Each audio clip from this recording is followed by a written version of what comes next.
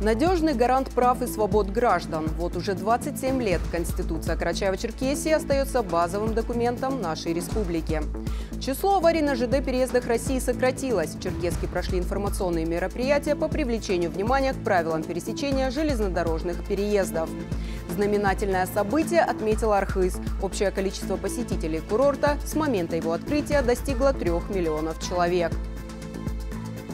Студенты из Карачаева-Черкесии, обучающиеся в Москве, отметили День родного языка. Цель мероприятия – сохранение национальных традиций. Добрый вечер на телеканале «Россия-24». Информационный выпуск «Вести Карачаева-Черкесия». Главной точкой притяжения является Архыз. Заместитель председателя правительства России Александр Новак на совещании рассказал о развитии туризма на Северном Кавказе. По словам вице-премьера, за последние три года турпоток на горнолыжные курорты Северного Кавказа увеличился втрое. Э, прорывными проектами в сфере туризма являются горнолыжные курорты Северного Кавказа. Это Архыз Карачаево-Черкесской республики, Эльбрус Кабардино-Балкарии, Ведучи в Чеченской республике, Мамисон Северной Осетии. Хотел бы отметить, что за последние три года э, туристический поток на горнолыжные курорты Северного Кавказа увеличился на 60%. И на сегодня он превышает уже 1 миллион 300 тысяч человек за сезон. Главной точкой притяжения горнолыжного отдыха, безусловно, является курорт Архыз – это популярный и быстро развивающийся горнолыжный курорт, который в год принимает уже более 700 тысяч туристов. Государственной корпорацией «Кавказ РФ» на курорте Архыз создано более 27 километров трасс, оборудованных искусственным, э, возможностью системы искусственного снегообразования, 8 современных канатных дорог, а также вся необходимая инфраструктура. А, правительство вывело курорт Архыз на операционную рентабельность вот в течение последних двух лет. Это позволило сформировать условия для привлечения стратегического инвестора. В рамках исполнения поручений президента а, правительством были проработаны различные варианты привлечения стратегического инвестора. В итоге был выбран наиболее оптимальный вариант продажи с инвестиционными обязательствами а, по развитию инфраструктуры курорта. Этот подход позволяет не только в полном объеме вернуть вложенные государством средства, но и реинвестировать их в развитие других прорывных проектов Северо-Кавказского федерального округа, а также обеспечить активное развитие курорта уже без привлечения средств федерального бюджета за счет частных инвестиций. На прошлой неделе состоялся конкурс. Э, определен стратегический инвестор, который поэтапно перечислит бюджет Российской Федерации 24,2 миллиарда рублей, что существенно превышает э, вложенные государством средства. По условиям конкурса в соответствии с соглашением инвестор взял на себя обязательства по строительству за счет собственных средств канатных дорог, горнолыжных трасс, гостиниц, ресторанов, других объектов инфраструктуры в объеме не менее 40 миллиардов рублей. Это позволит к 2030 году минимум удвоить туристический поток. Архыз станет курортом международного уровня. Тем временем Архыз отметил знаменательное событие. Общее количество посетителей курорта с момента его открытия достигло трех миллионов человек. Знаменательного гостя поздравили и вручили сертификат на безлимитное катание на весь следующий зимний сезон. За торжественным мероприятием наблюдал корреспондент Артур Мхце. На туристической карте России этот курорт Карачаево-Черкесии появился в декабре 2013 года. Построенный с нуля Архыз с тех пор постоянно привлекает внимание любителей активного отдыха, демонстрируя уверенный прирост посещаемости. И вот наступил момент, когда общее число гостей достигло трех миллионов человек. По такому случаю в «Романтике» было организовано музыкально-познавательное шоу, участником которого, а значит и обладателем сувенира, мог стать любой желающий. География только тех, с кем удалось пообщаться во время торжественного мероприятия, потрясает. Среди гостей курорта оказались жители России, без преувеличения от Камчатки до Калининграда. Это просто неописуемая красота, бесподобный воздух и атмосфера, доброжелательность. Это, ну, наверное, это просто на уровне подсознания и где-то там внутри. Здесь просто потрясающе. Слышали много хороших отзывов об этом курорте. А, вот первый раз приехали, очень нравится все, хорошая инфраструктура. Тут очень красиво, есть прям хорошие как бы кафешки тут вкусно готовят у нас. Был в сибирских курортах. Здесь, конечно, это, это Кавказ, это красиво, это эстетика. Здесь, конечно, сногсшибательное видео, как ну, быть здесь надо обязательно. Разумеется, популярность не появляется на пустом месте. Курорт постоянно развивается, совершенствует свои услуги, что позволяет круглогодично встречать желанных гостей, проводить здесь соревнования по горным лыжам, в том числе всероссийского уровня. На период нынешнего сезона в Романтике и Лунной Поляне работают 8 канатных дорог и 27 километров трасс различной степени сложности. Как говорят посетители Архиза, мало какой горнолыжный курорт Европы сравнится с тем, что есть в Карачаево-Черкесии. Мы каждый год растем и трехмиллионный посетитель как раз-таки зафиксирован, э, начиная с 2013 года. Каждый год туристический поток растет э, сюда. Э, за 2022 год зафиксировано 740 тысяч людей, которые посетили вот, это на 8% больше, чем в 2021 году. И вот наступает кульминация. Ведущий объявляет трехмиллионного посетителя курорта Архыз. Им становится Джамбулат Эбзеев, родившийся в Карачаевске, но уже много лет работающий в российской столице и часто приезжающий из Москвы в Карачаево-Черкесию. Вот и теперь, как только выдалось свободное время, он не отказал себе в удовольствии прокатиться по любимым трассам. Я могу сказать, то, что сейчас происходит вот на, на фоне Архиза, это просто один из лучших вариантов э, отдыха горнолыжного, для горнолыжного отдыха. Потому что я и за границей много часто ездил.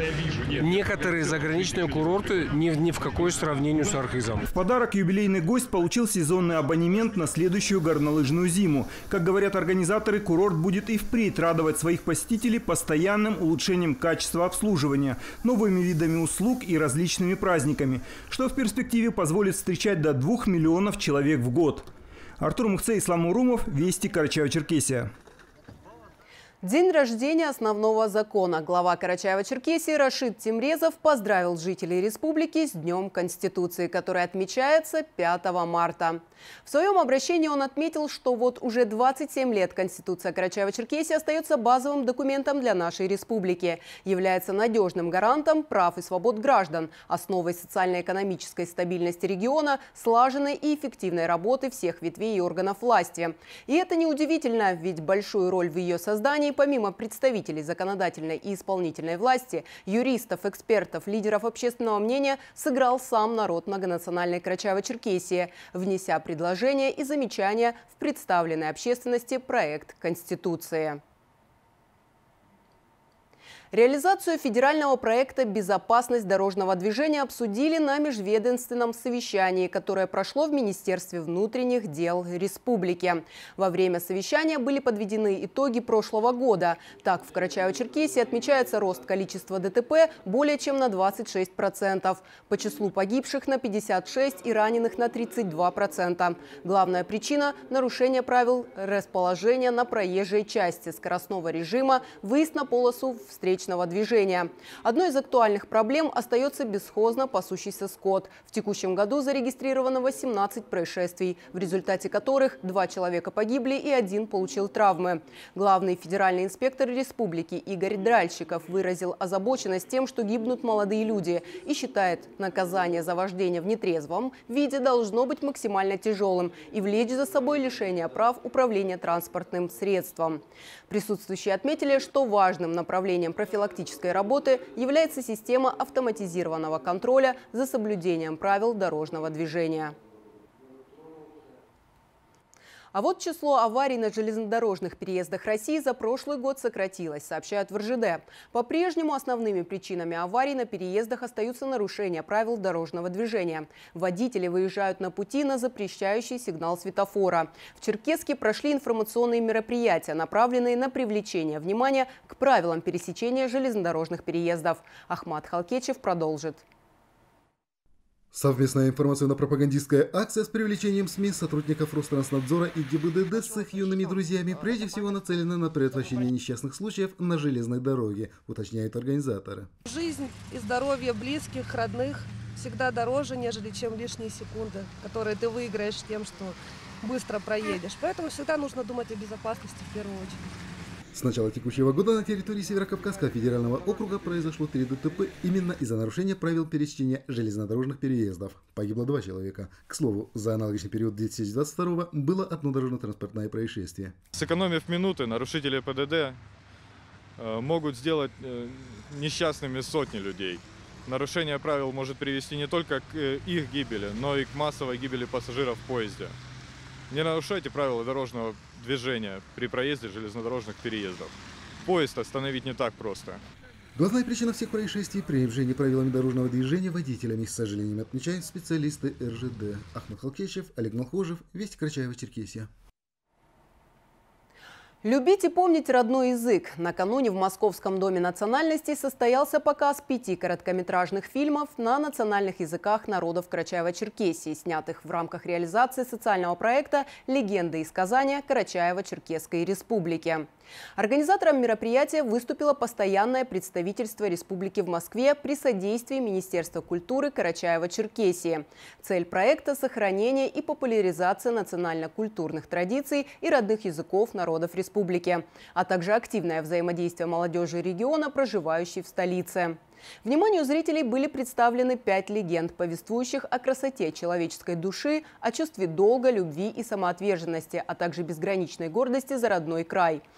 Также состоялась концертная программа с участием музыкальных исполнителей и национальных танцевальных ансамблей. Стоит отметить, что в рамках мероприятия постпредством была проведена акция «Письма на родных языках от студентов», военнослужащим Карачаева-Черкесии, участникам СВО.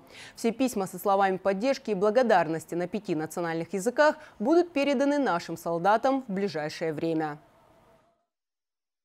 Я считаю принципиально важным проведение такого рода мероприятий на постоянной основе, дабы э, усилить дружбу народов, ведь мы считаемся многоконфессиональной, многонациональной страной. Э, и вот вдали от дома мы должны постоянно вот так э, собираться. Я бы хотела поблагодарить организаторов за данное мероприятие. Было очень приятно встретить своих друзей с малой родины, было приятно провести с ними время, также э, окунуться в ту культуру, в которой мы сами росли. На самом деле этого очень не хватает в Москве, и я очень рада, что мы снова можем вот так вот собраться, и хотелось бы почаще таких мероприятий в Москве. Кинотеатрах страны продолжается показ исторической драмы Сергея Урсуляка «Праведник». Он основан на реальных исторических событиях, и главные роли в нем исполняют как звезды первой величины, так и начинающие актеры. Впечатлениями от просмотра картины зрители поделились с Альбиной Ламковой. Фильм о подвиге советского солдата Николая Киселева продолжает покорять сердца российских зрителей. Кто не посмотрел, спешат в кинотеатр «Чарли», так как отзывы и эмоции после просмотра картины восторженные. Я в предвкушении. Сейчас начнет этот фильм. Я смотрела многие отзывы, и все его хвалят, поэтому я думаю, что мне очень понравится. Сергей Урсуляк постарался через историю рассказать, как важно в любой ситуации не терять здравый смысл и оставаться человеком. В фильме не случайно сделан акцент на том факте, что Киселев, спасая евреев, выполнял приказ – Герой Яценко всей своей работой подчеркивает важность других людей, тех, которых он спасает. Неявный, но герой. Фильм происходит в нескольких временных пространствах. Место действия – Беларусь. Ближе к нашим дням эта линия разворачивается в Израиле, где решают, имеет ли смысл присвоить Николаю Киселеву статус праведника народов мира. Здесь каждый персонаж – человек с удивительной судьбой, говорит министр культуры республики Зураба Гирбов, посмотрев фильм, он отметил, что картина будет интересна зрителю, потому что как минимум снято интересно. Фильм «Праведник» — это еще один взгляд на события Великой Отечественной войны, на темы, которые зачастую проходят как-то вскользь, потому что геноцид еврейского народа, проблемы, связанные с послевоенными гонениями, история до войны, все это очень через жизни людей раскрыто в фильме. Люди откладывали в стороны вообще свою национальность, откладывали э, какие-то конфликты межэтнические, межрелигиозные и вместе боролись с общим врагом. Впечатляет. Фильм основан на исторических событиях. Я вообще хожу в кино очень часто, у меня есть пушкинская карта. Слезы просто наворачиваются. Тема войны и патриотизма всегда будет актуальна. Я думаю, тем более в наши дни каждый учащийся, каждый студент, да что говорить, да и взрослое поколение должны посмотреть этот фильм. Пробежать мост и выжить. К счастью, финал хороший, острые моменты переживаний и нечеловеческая жестокость уже позади. Останется в памяти исторический подвиг и правдоподобная игра актеров. Альбина Ламкова, Расул Бердиев, Вести, Карачаева-Черкесия. Внимание участников дорожного движения. МЧС информирует, сегодня до конца суток по Карачаево-Черкесии ожидаются очень сильные осадки в виде дождя и мокрого снега. Водителей просят быть внимательнее на дорогах. Такими были самые актуальные вести республики на этот час. Я с вами прощаюсь. Далее смотрите интервью с начальником отдела организации и проведения переписи и обследований в Карачаево-Черкесии Северокавказ стата Кулистан Шидаковой. С ней беседовала Алла Динаева.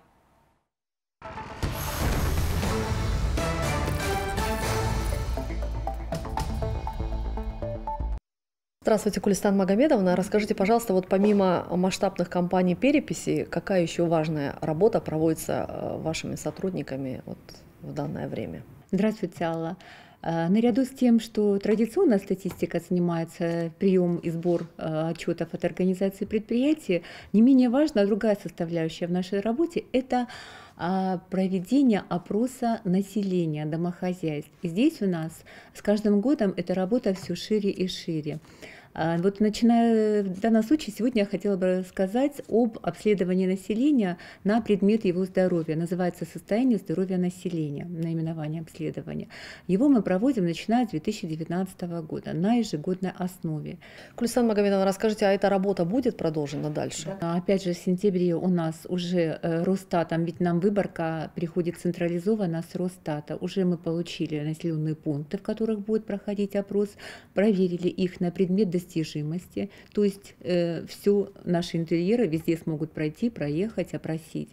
И отчитались Росстат, что мы готовы. И летом будет подготовка к нему, а в сентябре опять наши интерьеры пойдут в поле для того, чтобы получить итоги за текущий год, опрос провести. Выборка определяется централизованно, научно обоснованным методом в Росстате и спускается прям по адресно. Вот у нас обычно это 11 населенных пунктов, каждый адрес прописан. И даже на площадке одна квартира попадет, а другая нет. 11 населенных пунктов Карачаево-Черкесия это вот какие населенные пункты? Ну, это со всех районов?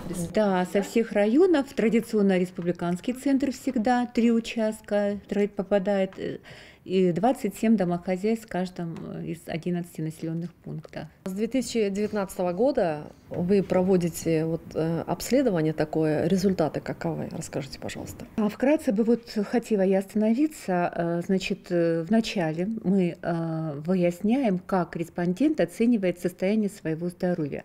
Так по итогам у нас получается, что как очень хорошее, но у нас, скажем, небольшой процент в регионе, всего лишь 8 с небольшим процентов опрошенных респондентов оценивают свое здоровье как очень хорошее.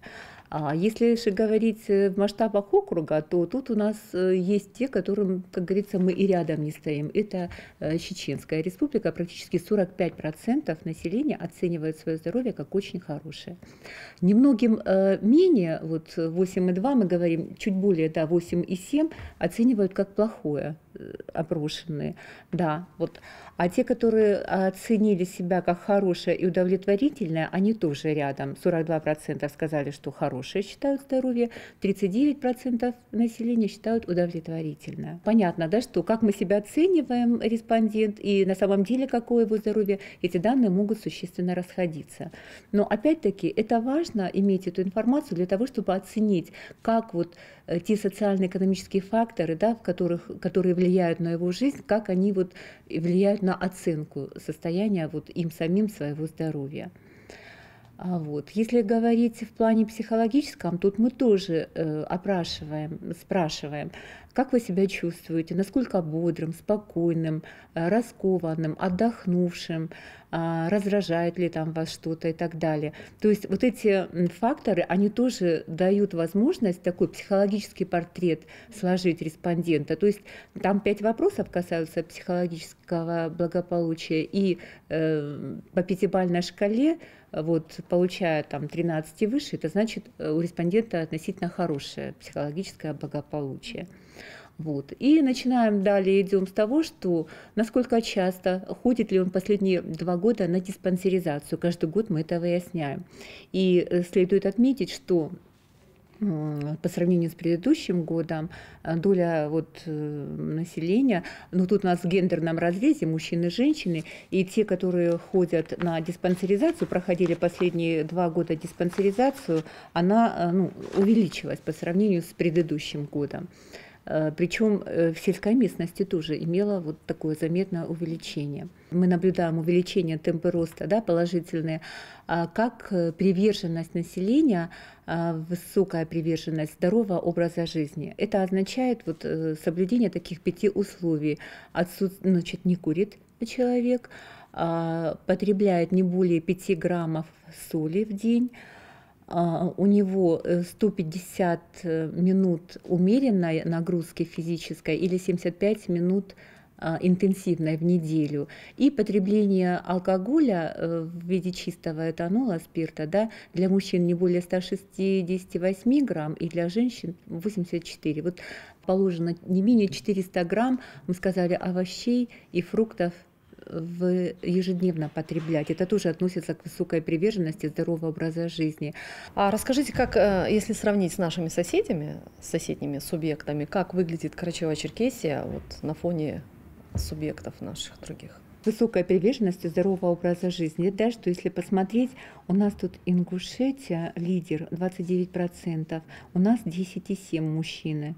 То есть вот э, если в масштабах округа смотреть, э, так вот в целом, да, по многим показателям, не только по одному, э, в числе первых позиций традиционно идут Ингушетия, Чечня. Там, где занятия самостоятельно, спортом, такой тоже есть вопрос. Там у нас лидеры Дагестан, Кабарда. Мы отстаем. То есть есть куда стремиться и над чем работать. И это же и разъяснительная работа, и другие мероприятия органов в этой сфере управления, да, которые для этого и созданы, чтобы политику эту государства проводить в соответствующей сфере.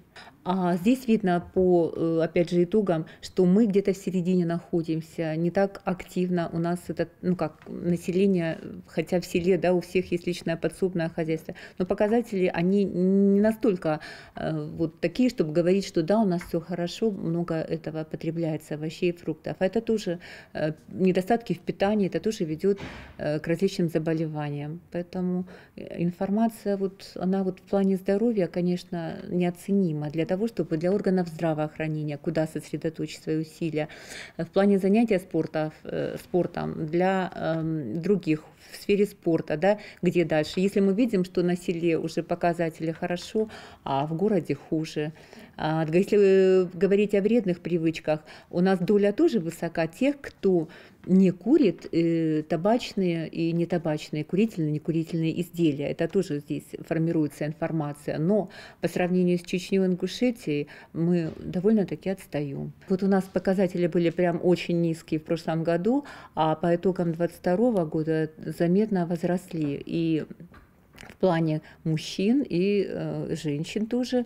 Причем до 22 года э, лидировали, скажем, здоровый образ жизни женщины на селе. Тоже в 22 году наиболее высокий показатель сложился э, женщины, проживающие в городской местности. Есть там и такие вопросы, как э, знаете ли вы, имеете ли вы представление о том, э, рациональном режиме и э, о питании, да, вот здоровом, имеете ли вы представление? И очень удивительно было, что ведь э, невелик процент, даже одну треть не составляет тех, кто хорошо осведомлен. А 15% ответили, что они вообще ничего не знают. И, конечно, при... а те, которые так относительно не, ну, знают так не очень хорошо и что-то слышали, таких тоже. Ну, вот, они как бы примерно одинаково распределились. Те, которые знают, не очень хорошо знают. И это говорит о том, что люди же должны знать, чтобы да, образ жизни улучшать постепенно. Хотя а, один из критериев – это же занятие спортом. Э, по нему тоже мы видим, особенно на селе, что значительно возросла доля тех, кто занимается организованно спортом. А вот э, я думаю, что это в итоге, э, мы же видели, компании были такие в течение последних нескольких лет, когда открывались в каждом районе, да, в сельских населенных пунктах спортшколы, спортзалы и так далее. И вот, э, как бы, мне кажется, итог вот как раз таки свидетельствует о том, что какие-то мероприятия, они успешно притворяются в жизнь, и это видно по ответам наших респондентов. Кульстан Магомедовна, спасибо большое, что нашли время и ответили на наши спасибо вопросы. Вам.